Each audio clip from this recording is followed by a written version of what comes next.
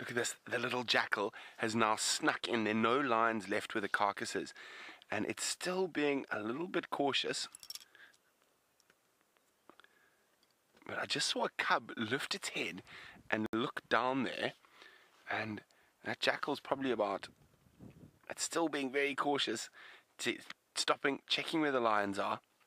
Making sure there isn't a lioness or something that's going to give it a surprise. No, it's actually on the site where they made the kill. There we go. That's it. Those little scraps are enough for that jackal. I mean, uh, 10 or 15 little morsels like that, and that jackal's got a full belly. Now, none of the lions have noticed it yet, except for that one cub. Now, if this had been a fresh kill and there was a lot of meat, look at that, that one guy's got a big piece.